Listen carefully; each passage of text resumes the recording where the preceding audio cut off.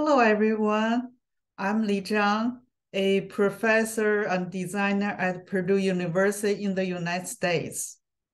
It's my great honor to speak at the fifth Design Education Forum in the UK. Uh, I'm going to talk about four things uh, in my presentation. One, thinking creatively. Two, learning via doing. And three, adapting to technological change.